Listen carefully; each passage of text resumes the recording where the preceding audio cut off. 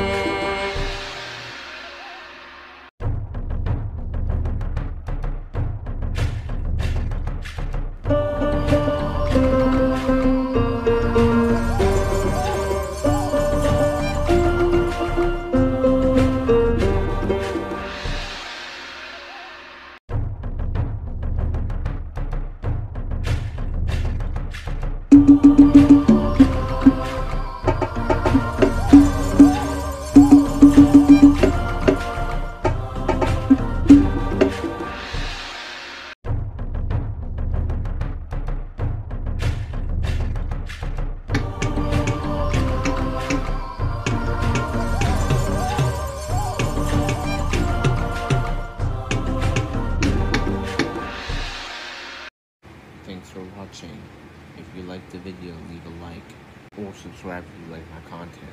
Thanks.